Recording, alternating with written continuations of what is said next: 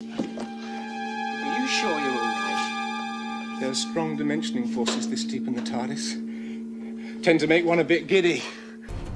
Clara? Clara, Hey. You're fine.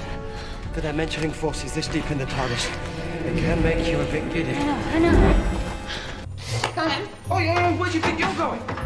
1860. Go out there dressed like that, you'll start a riot, Barbarella. There's a wardrobe through there. First left, second right, third on the left, go straight ahead, under the stairs, past the bins, fifth door on your left. Hurry up!